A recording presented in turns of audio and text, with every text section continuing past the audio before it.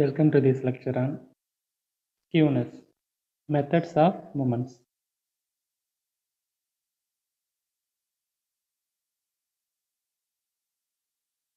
இன்னைக்கு செஷனில் ஸ்கியூனஸை எப்படி உமன்ஸை பேஸ் பண்ணி ஃபைண்ட் அவுட் பண்ணலான்றதை பார்க்கலாம் இப்போ இதை பற்றி தெரியறதுக்கு முன்னாடி யூனிட் ஒனில் ஆல்ரெடி உமன்ஸ் எதை பேஸ் பண்ணி கண்டுபிடிப்போம்னா arbitrary origin and moments about the mean இது ரெண்டுத்தையும் பேஸ் பண்ணி ஃபைண்ட் அவுட் பண்ணியிருப்போம் அந்த லெக்சர் வீடியோவை இன்னொரு டைம் நீங்கள் பார்த்துட்டு வாங்க. உங்களுக்கு வேணும்னா அந்த லெக்சர் வீடியோ லிங்க்கை நான் டிஸ்கிரிப்ஷன் பாக்ஸில் கொடுத்துருக்குறேன். நீங்கள் அது ஒரு டைம் பார்த்துட்டிங்கன்னா இதில் வரக்கூடிய இந்த ஸ்டெப்ஸ்லாம் உங்களுக்கு ஈஸியாக அண்டர்ஸ்டாண்ட் ஆகும். எப்போவுமே மூமெண்ட்ஸை மொத்தம் மூணு விதமாக அதில் மூமெண்ட்ஸ் கண்டுபிடிச்சிருப்போம். ஒன்று மூமெண்ட்ஸ் அபவுட் ஆர்பிச்சரி மீன் அல்லது ஆர்பிச்சரி ஆரிஜின் அடுத்தது ஆரிஜினை பொறுத்தே moments கண்டுபிடிச்சிருப்போம்.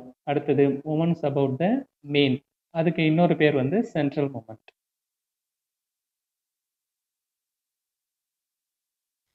moments about arbitrary number ஏதோ ஒரு நம்பரை பொறுத்து மூமெண்ட்ஸ் வந்து ஃபைண்ட் அவுட் பண்ணுறோம் இப்போ மியூ ஆர் பிரைம் இது general formula one by N summation of I equal to one F I X I minus A whole power R இதை பற்றி டீட்டெயிலாக நான் ஏற்கனவே சொன்ன மாதிரி யூனிட் ஒனில் சொல்லியிருக்கேன். நீங்கள் அந்த லெக்சர் வீடியோ ஒரு டைம் பார்த்துட்டு வாங்க. இந்த ஃபார்முலாவும் நான் அதிகமாக உங்களுக்கு எக்ஸ்பிளேஷன் பண்ணலை. ஆனால் இந்த மியூ ஆர் ப்ரைம் இந்த ஃபார்முலா இருக்கு இல்லைங்களா? இது கட்டோசிஸில் மீண்டும் இதனுடைய ரோல் வந்து திருப்பினும் ப்ளே ஆகும். மியூ ஆர் ப்ரைம் நாம் அங்கே அதில் மூமெண்ட்ஸ் எதை பேஸ் பண்ணி ஃபைண்ட் அவுட் பண்ணோன்னா ஒரு ஆர்பிச்சரி நம்பரை பொறுத்து நாட் நெசசர்லி மீன் மீனை பொறுத்து கண்டுபிடிக்கப்படுறதில்ல ஏதோ நம்மளுக்கு கன்வீனியண்ட்டாக இருக்கக்கூடிய ஒரு நம்பரை பொறுத்து ஃபைண்ட் அவுட் பண்ணுவோம். அதில் X I minus A the whole power R mu R ப்ரைம்ங்கிற அந்த ஃபார்முலா மீண்டும் ஒரு டைம் கட்டோசிஸில் வரும். இதில் என்னங்கிறது என்னன்னு தெரியும்? Sum of all the frequencies mu one prime mu two prime mu three ப்ரைம்ங்கிறது உமன்ஸை ஆர்பிச்சரி நம்பரை பொறுத்து ஃபைண்ட் அவுட் பண்ணியிருக்கிற வேல்யூ இதில் இப்போ இந்த எக்ஸ்ஐ மைனஸ் ஏன்னு இருக்குது இல்லைங்களா? இந்த எக்ஸ்ஐ மைனஸ் ஏவில் ஏதாவது ஒரு காமன் ஃபேக்டர் வரலாம். இப்போ ஃபார் அன் எக்ஸாம்பிள் இந்த எக்ஸ்ஐ மைனஸ் ஏ நீங்கள் எல்லா நம்பருக்கும் கண்டுபிடிக்கும் பொழுது அஞ்சு அஞ்சால் டிவைட் பண்ணுற மாதிரியோ நாலு நாலால் டிவைட் பண்ணுற மாதிரியோ மூணு மூணால் டிவைட் பண்ணுற மாதிரியோ வரலாம். அதுக்கு பேர் வந்து ஸ்டெப் சைஸ் எல்லாத்துலேயுமே காமனாக ஒரே ஃபேக்டர் வரும். நான் உங்களுக்கு ப்ராப்ளம் வரும்போது எக்ஸ்பிளேஷன் பண்ணுறேன் அது மாதிரி காமன் ஃபேக்டர் வந்துச்சுன்னா அந்த காமன் ஃபேக்டர்லாம் நீங்கள் டிவைட் பண்ணும்போது ஒன்றும் ப்ராப்ளம் ஃபர்தராக ஈஸியாக சிம்பிளிஃபிகேஷன் ஆகும். அப்போ அது மாதிரி அந்த காமன் ஃபேக்டருக்கு பேர் நான் என்னென்னு சொல்லியிருக்கிறேன்னா ஹெச் அந்த mu R prime one by N இந்த ஃபார்முலாவை எப்படி ரீப்ளேஸ்மெண்ட் பண் பண்ணலாம்னா one by N summation of I equal to நப்டின் F I mu I R into H R mu I R ப்ரைம்னு வரும். இன்ட்டு ஹெச்ஆர் அதனுடைய ஸ்டெப் சைஸ்னால எத்தனை பருப்புங்க ஆர்னு வந்துச்சுன்னா பவர் ஒன்றுன்னு எழுதணும். ஆர்னுடைய மதிப்பு ரெண்டுன்னு வந்துச்சுன்னா எக்ஸ் ஸ்கொயர்னு வந்து எழுதணும்.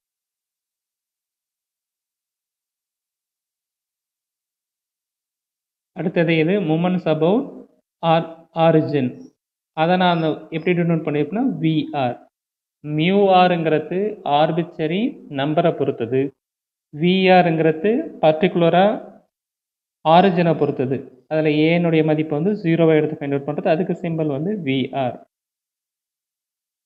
தென் ஃபைனலி இந்த ரிலேஷன்ஷிப் தான் நம்மளுக்கு ரொம்ப முக்கியமான ஒன்று மியூ ஒன்னுடைய மதிப்பு ஜீரோ மியூ டூ வந்து mu two prime minus mu three prime relationship between mu R and mu R prime mu ஆருங்கிறது central moment moments about mean mu R ப்ரைம்ங்கிறது moments about arbitrary number எந்த ஒரு நம்பரை பொறுத்து வேணாலும் இருக்கலாம். Mu R and mu R prime then mu த்ரீனுடைய மதிப்பு mu ஃபோர்னுடைய மதிப்பு. நான் மீண்டும் ஒரு டைம் சொல்கிறேன் நீங்கள் அந்த மூமெண்ட்ஸ் அபவுட் ஆர்பிச்சரி ஆரிஜின் அந்த லெக்சர் வீடியோவை பார்த்தீங்கன்னா இன்னும் உங்களுக்கு இதனால் தெளிவாக புரியும். இந்த ஃபார்முலா அப்படியே ஸ்ட்ரைட்டாகவே நம்ம எதில் யூஸ் பண்ணணும் ஸ்டியூனஸ் கண்டுபிடிக்கிறது யூஸ் பண்ண போகிறோம் அடுத்தது கட்டோசிஸ் கண்டுபிடிக்கிறதுலையும் யூஸ் பண்ண போகிறோம்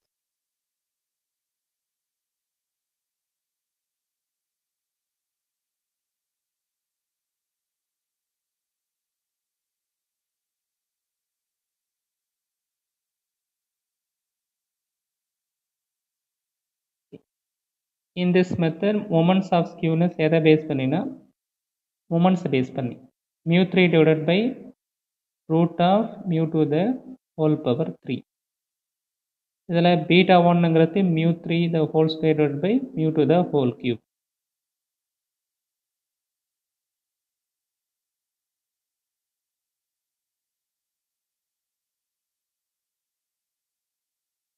moments coefficient coefficient of skewness can also be written as mu 3 divided by mu 2 prime the whole power 3 இதில் plus R minus root of B one ப்ளஸ்னுடைய value root of B one ப்ளஸ்னுடைய மதிப்பு வந்துச்சுன்னா அது positively skewed right சைடில் tail அதிகமாக இருக்கும். Negative வந்ததுன்னா left சைடில் tail வந்து அதிகமாக இருக்கும். ஸோ மொமெண்ட்ஸை பேஸ் பண்ணி ஸ்கியூனஸ் கண்டுபிடிக்கிறதுக்கான ஃபார்முலா மியூ த்ரீ மியூ த்ரீங்கிறது தேர்டு சென்ட்ரல் மூமெண்ட் மியூ டூங்கிறது செகண்ட் சென்ட்ரல் மூமெண்ட் அதை கியூ பண்ணிவிட்டு அதுக்கு ரூட் எடுக்கணும். இந்த வேல்யூ சிம்பிளி ரெண்டுத்தையும் டிவைட் பண்ணால் பாசிட்டிவாக வந்துச்சுன்னா பாசிட்டிவ் ஸ்கியூடு நெகட்டிவ் வந்துச்சுன்னா negatively skew skewed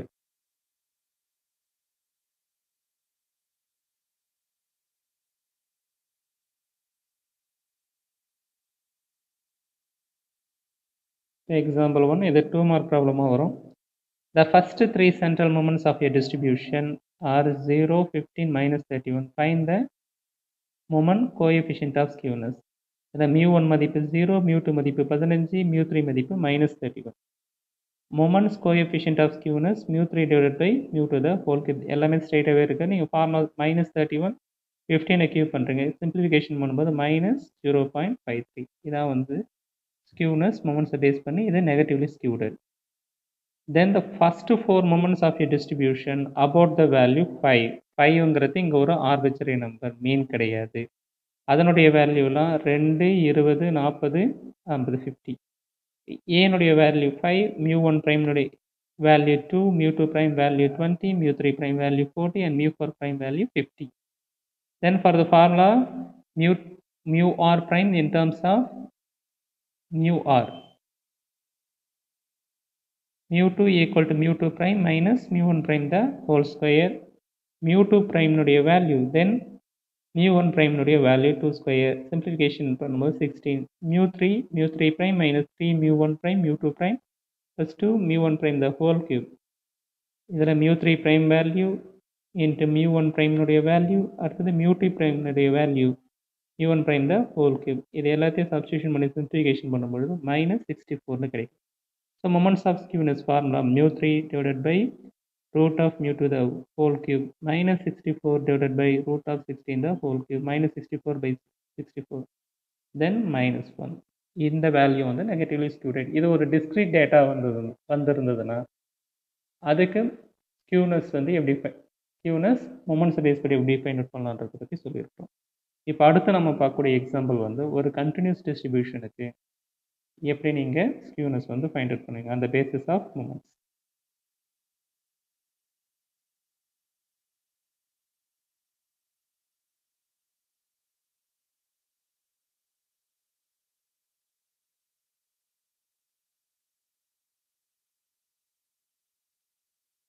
So calculate the moments of skewness for the following distribution. 2.5 to 7.5, 7.5 to 12.5, 12.5 to 17.5 ஃப்ரீக்வன்சினுடைய மதிப்பு எழுதிட்டோம். அடுத்தது மிட் பாயிண்டுடைய வேல்யூ டூ பாயிண்ட் ஃபைவ்க்கும் seven point ஃபைவ்க்கும் mid point value five seven point ஃபைவ்க்கும் twelve point ஃபைவ்க்கும் mid point value ten mid point value எழுதியது.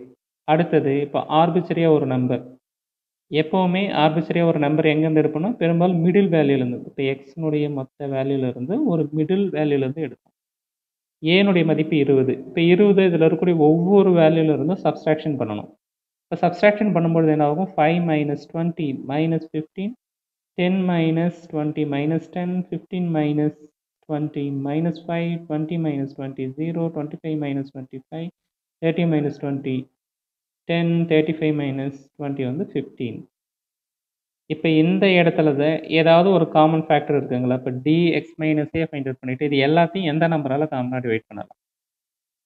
அஞ்சால் divide பண்ணலாம். அதனால் ஹெச்னுடைய மதிப்பு அஞ்சுன்னு எடுத்துக்கிட்டு அதை U U divided by H இது இன்னும் உங்களுக்கு இந்த வேல்யூ வந்து ஃபர்தராக சிம்பிளிஃபிகேஷன் ஆகுது.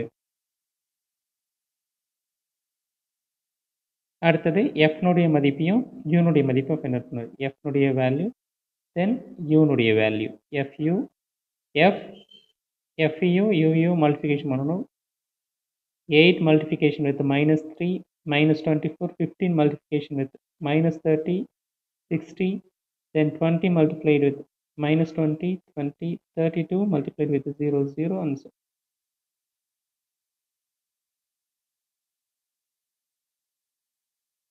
இது எஃப்யூனுடைய மதிப்பு. கண்டுபிடிச்சிட்டு அதே மாதிரி சிமிலர் எஃப்யூ ஸ்கொயர் அடுத்தது எஃப்யூ கியூப் இது எல்லாத்தையும் சம் பண்ணி எடுத்துக்கிறோம்.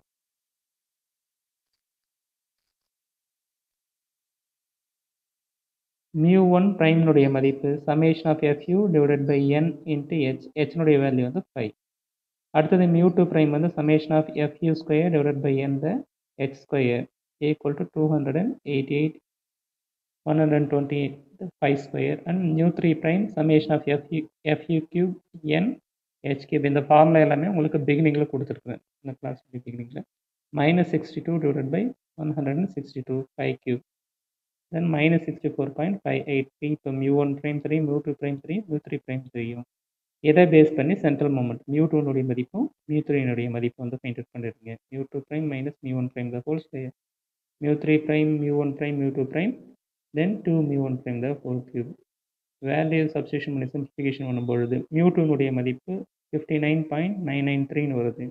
மியூ மதிப்பு minus forty nine point six four four இதை moments of skewness mu 3 divided by root of mu 2 3 the whole cube minus 49.64 divided by 59.93 the whole cube. Minus 0.1016 moments of skewness இது ஒரு negative number இது negatively skewed டிஸ்ட்ரிபியூஷனாக இருக்கும்.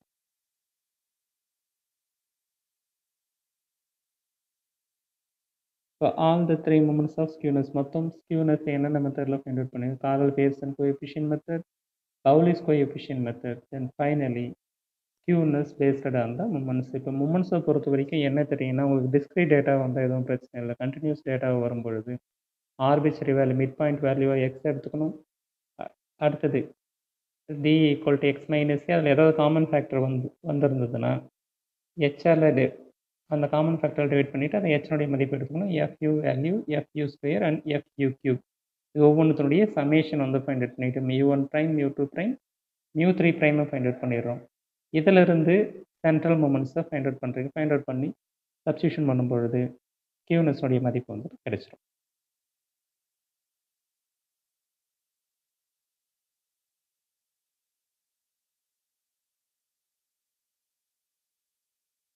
Thank you so much.